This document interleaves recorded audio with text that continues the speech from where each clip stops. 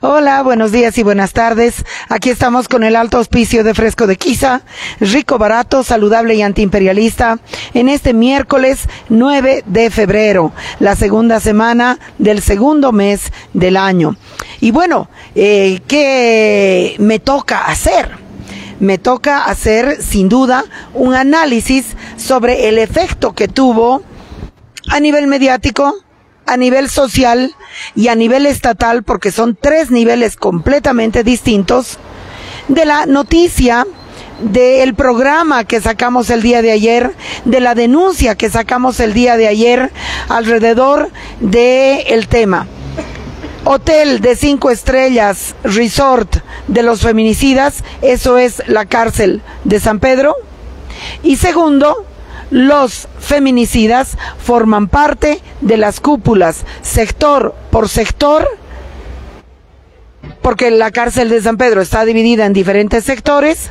Formar parte de las cúpulas directivas les permite acceder a grandes volúmenes de dinero y esos grandes volúmenes de dinero no solamente les permiten la gran vida, les permiten acceder a salidas privilegiadas, les permite acceder a amotinar la cárcel de San Pedro si es que el gobierno quiere intervenirla, les permite acceder al control corrupto de los policías porque esa maquinaria llega hasta el gobernador. Y entonces la pregunta del millón.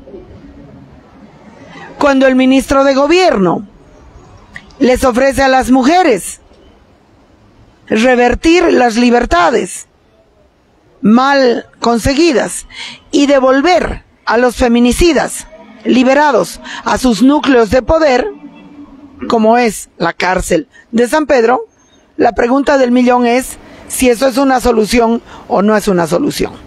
Pero bueno, como ven, no estoy en la comodidad de los estudios de Radio Deseo, porque hoy voy a hacer otra radio documental. ¿Por qué voy a hacer otra radio documental? ¿Por qué voy a corretear tanto? ¿Por qué estoy gastando mi cuerpo, mi vida, mi voz, mis horas? ¿Por qué no puedo volcar página? Porque estamos en una acción de legítima defensa de las libertades sexuales y de las vidas de las mujeres bolivianas. Los otros medios de comunicación que picotean de todo pueden volcar página, nosotras no. Yo tengo que hacer un análisis. A nivel del Estado, a nivel del Estado y del gobierno. La única persona que yo sepa que ha reaccionado a la denuncia planteada a través de una entrevista en Radio Éxito es la viceministra de Comunicación que pide investigar. A nivel del Ministerio de Gobierno, la reacción ha sido muy divertida, porque en lugar de que se les caiga el techo encima y en lugar de que les parezca grave, lo que ha hecho el ministro Castillo es contratar quichicientos llamados guerreros digitales para que en las redes sociales se dediquen a burlarse de mí, se dediquen a decir, pero esa es una noticia intrascendente, innecesaria, eso ya sabíamos, no sé si pueden dormir tranquilos con eso. Eh, pero no responder de manera directa. Eso es lo que ha hecho el Ministerio de Gobierno. A eso que ha hecho el Ministerio de Gobierno yo quiero responderle que yo he sido muchas veces objeto de burla. Lo voy a hacer muchísimas veces por mi cuerpo, por mi opción sexual, por mi cara, por, por mi, por mis, cualquier cosa.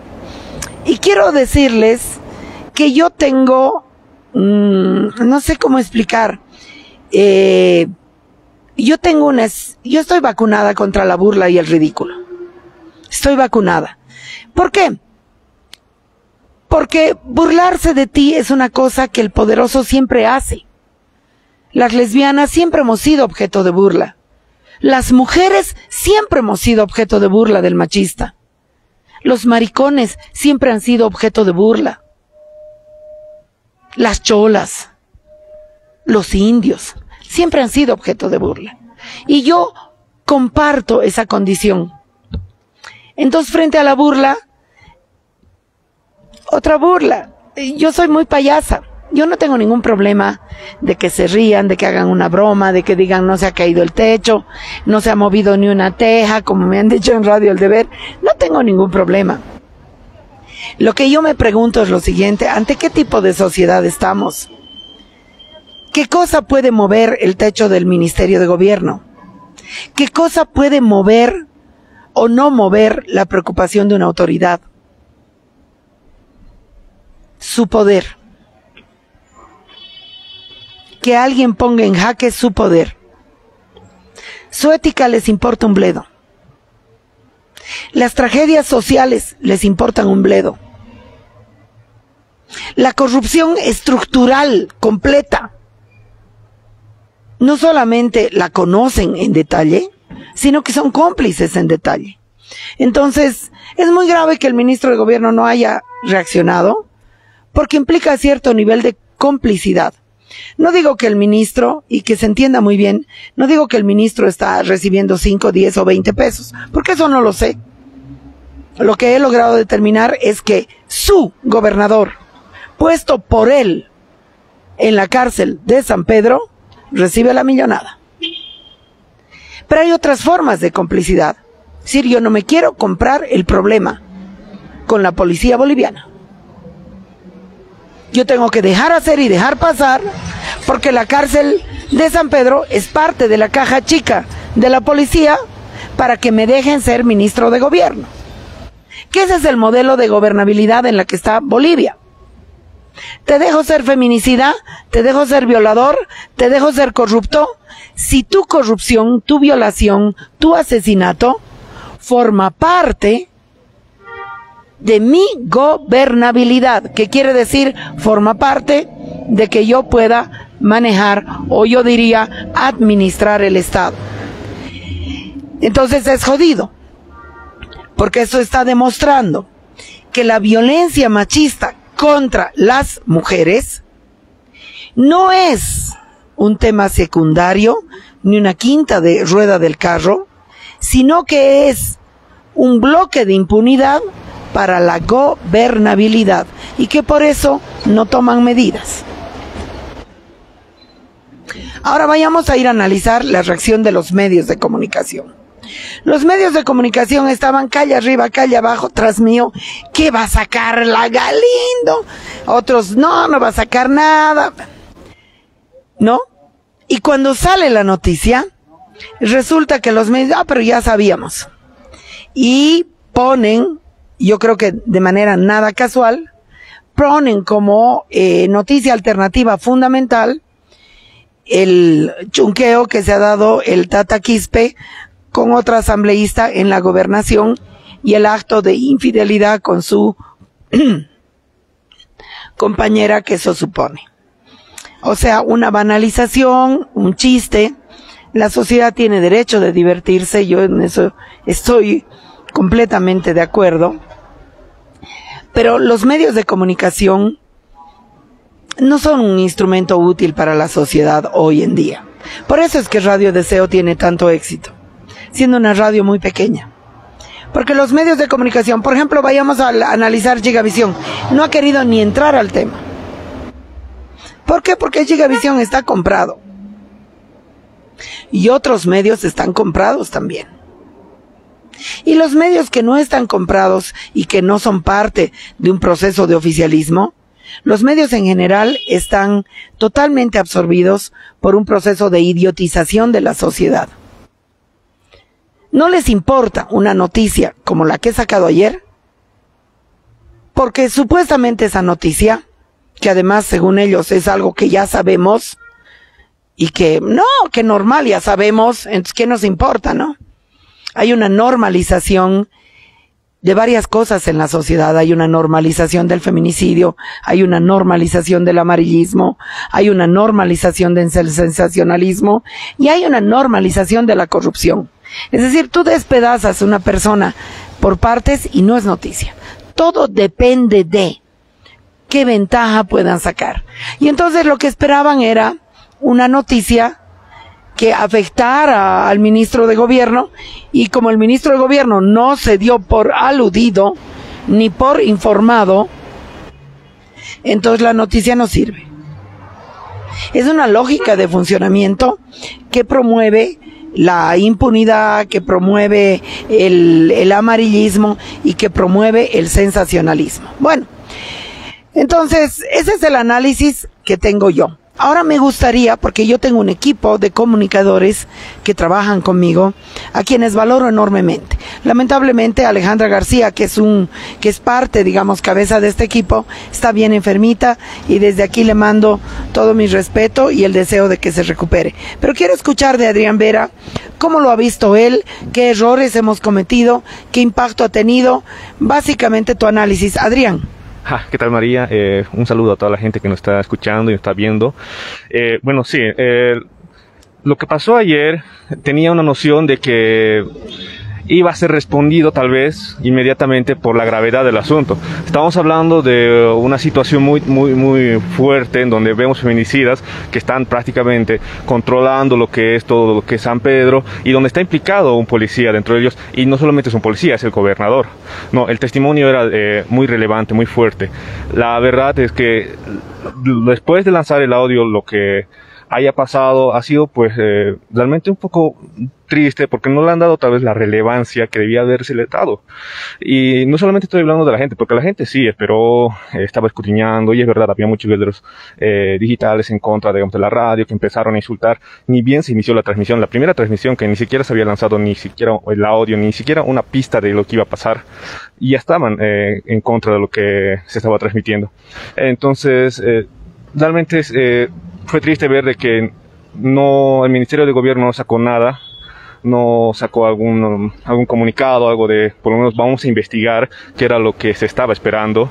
Y es verdad, se está normalizando a tal nivel estas situaciones de que no tenemos una, una noción clara de la gravedad de los asuntos que está pasando cada día en el país al final y al cabo creo que lo estamos viendo un acto de corrupción, un asesinato, un robo, como algo tan del día que ya ni siquiera le da la importancia suficiente.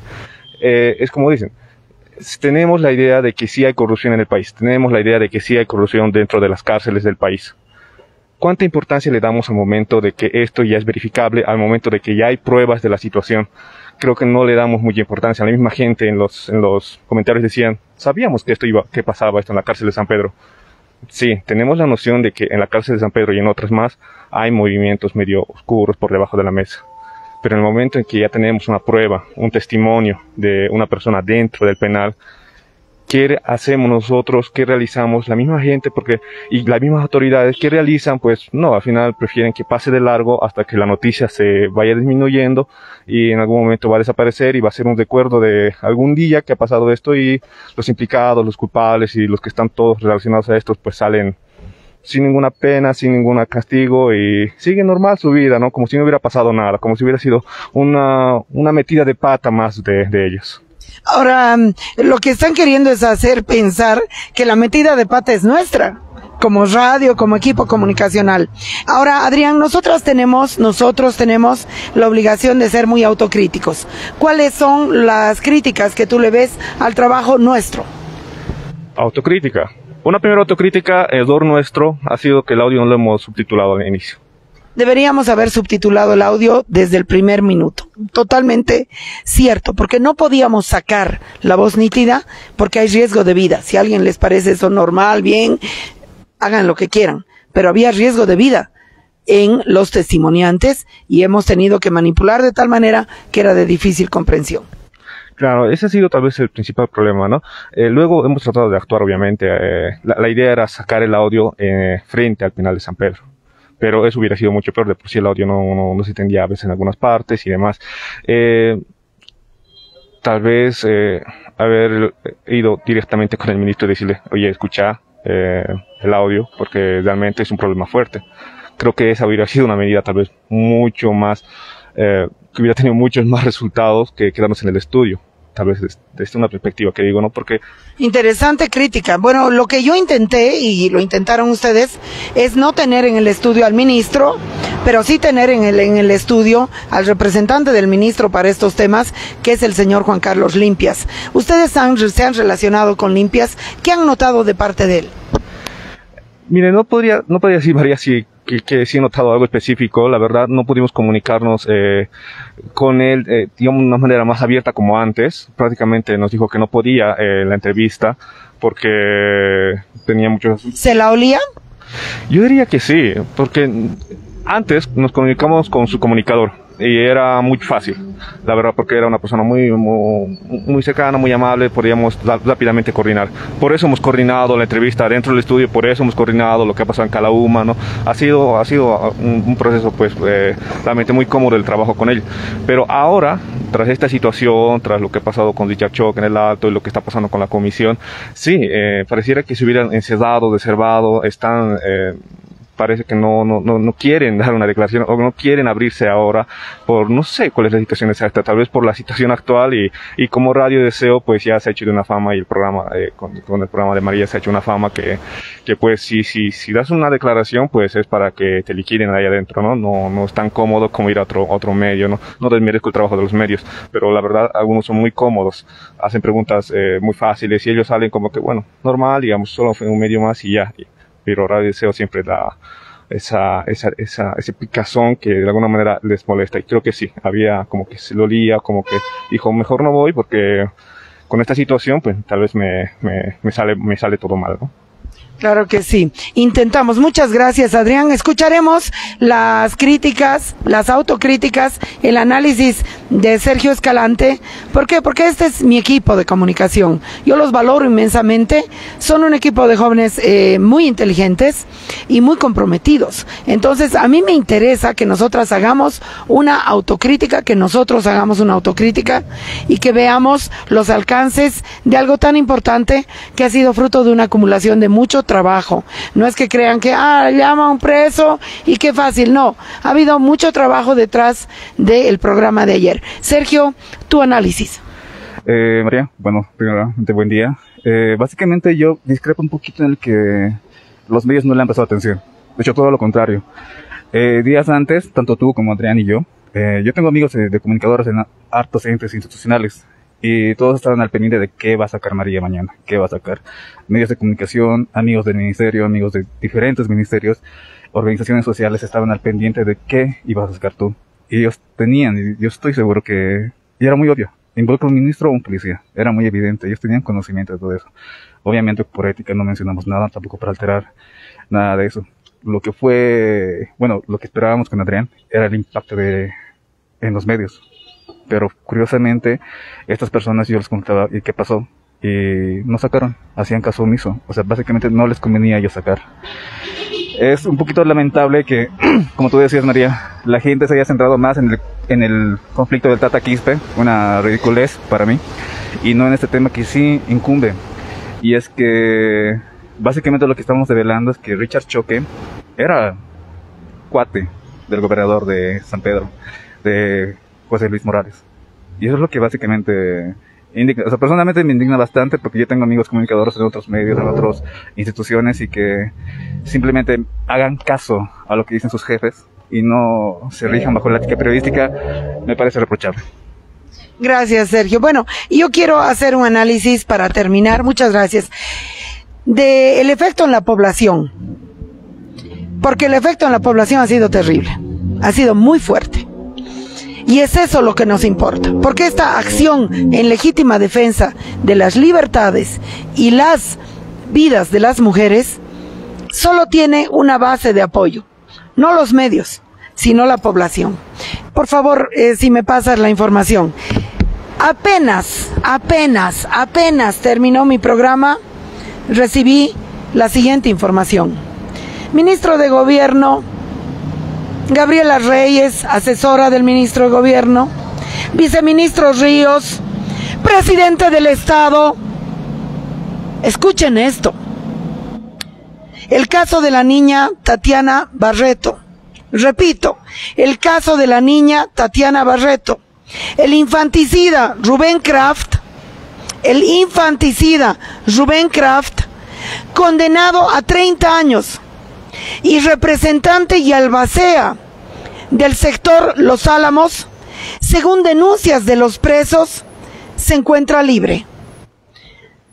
Cometió muchos abusos contra reos y manejó el tráfico de alcohol y sustancias controladas.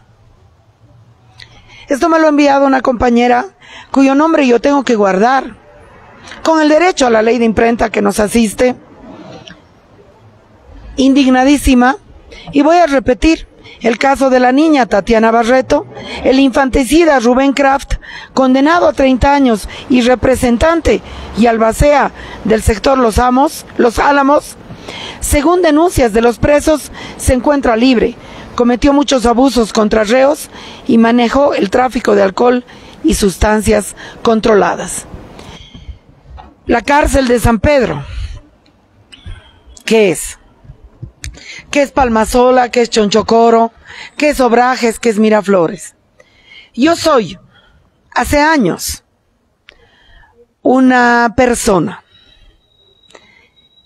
que tengo la firme convicción de que las cárceles de nuestro país son fotocopias, son copias, son universos que expresan de manera muy clara las estructuras de la propia sociedad. Por eso siempre digo, no solo la cárcel tiene rejas. El análisis, conocimiento de las cárceles es fundamental para entender la estructura de clase, la estructura colonial, la estructura racista, la estructura misógina de la sociedad boliviana. También las cárceles de mujeres. Las cárceles son la expresión del modelo de gobierno que tenemos. Tenemos un modelo de gobierno que solo le interesa el control de la puerta y el manejo de una tajada de la corrupción. En las cárceles de hombres hay alcohol, hay drogas, hay privilegios clasistas, racistas, coloniales, que todo se resuelve con plata. Todo se resuelve con plata. Y ese es un abuso que están sufriendo inclusive los privados de libertad. Porque esta denuncia ha salido desde los privados de libertad. Yo tengo muchas amigas, muchas aliadas, parte de las víctimas que ayer tenían la tarea de ir a visitar la cárcel de San Pedro. Porque nosotras queremos testear nuestro trabajo. Nosotras estamos en un constante examen. Nosotras estamos en un proceso de transformación de la sociedad boliviana. Y todas esas amigas que ayer han accedido a entrar a la cárcel de San Pedro, a visitar a sus parientes, amigos, etcétera, todas han salido diciéndome, el programa era el hit de discusión de la cárcel de San Pedro. Ahora, eso no significa que con un programa, que con una denuncia, cambian las cosas. Para nada. Si no, sería bastante más fácil. Pero que en la cárcel de San Pedro se han levantado todas las expectativas del mundo, se han levantado. Ahora, eh, hoy día no estoy en la radio, todavía no les voy a revelar dónde estoy y qué es lo que voy a hacer, pero en esta breve introducción a mi programa, quiero compartir con ustedes la sentencia contra el feminicida que hemos sacado para las alacitas. Esta sentencia la hemos comprado, la ha comprado la piloto y doy a Romano, porque está a la venta en todos los puestos de billetitos. Y es una sentencia hermosamente redactada. Es la sentencia contra el feminicidio de la Equeca de la Suerte. Dice, en nuestra ciudad de La Paz, el amparo, al amparo de la poderosa Equeca, diosa de la abundancia, protectora de la rebelión de las mujeres, dictamos esta sentencia de cárcel contra todos los feminicidas para acabar con la impunidad reinante en este machista país. La sentencia es de 30 años sin derecho a indulto. Y escuchen ustedes los detalles. El cumplimiento de esta sentencia será cuidadosamente aplicado para que ningún feminicida goce de privilegio alguno. O sea, la queca va más allá del Estado. Que todo feminicida cumpla además la sentencia en soledad, impedido de volverse a juntar con mujer alguna, ni menos aún pueda organizar su tropa de feminicidas en la cárcel. Que los feminicidas pierdan sus derechos de paternidad y que todos sus bienes pasen al Estado para construir parques para los niños y las niñas y les niñes. Gracias a la fuerza justiciera de la queca de la libertad, proclamamos el valor de la vida de las mujeres, de las mujeres trans, de los hombres trans y garantizamos que ningún feminicidio será encubierto como accidente, suicidio o homicidio nunca más. Sabias palabras de la queca de la suerte. Esto lo puedes encontrar en todos los puestos de venta de las alacitas. Y para terminar, quiero responder, yo estoy recibiendo una ola total de presiones que me dicen, ay, ¿por qué no defiende a las mujeres? ¿Por qué no defiende a la Janine Áñez? ¿Acaso la Janine Áñez no es mujer? Esta es una masista encubierta. Yo les voy a decir claramente que esta lucha no divide hombres de mujeres, porque no es así. Esta lucha es por las mujeres que no tienen acceso a la justicia. No tienen acceso a la justicia por ser pobres, por ser trabajadoras sexuales, por ser mujeres trans, por ser mujeres sin gancho político. Sin gancho político. Janine Áñez ha cometido delitos gravísimos, gravísimos. Y el que a mí más me duele y me indigna son las masacres que no las ha cometido solita. ¿Dónde está Miguel López, su gran amigo, ministro de Defensa, el militarote violento y fascista? ¿Y dónde está Murillo? ¿Y dónde está Jerjes, todo su, su gabinete? Yo quiero un juicio contra Janine Áñez y quiero justicia contra esa dictadura. Y no se trata de defender a una mujer porque es mujer. También hay muchas mujeres dentro del aparato de corrupción feminicida y violento. Juezas, fiscales, policías. Aquí estamos defendiendo las libertades sexuales de las mujeres. Aquí estamos defendiéndonos contra la corrupción en la justicia que afecta a las mujeres que no tienen acceso a la justicia. Aquí y así arranca mi garganta, es un órgano sexual.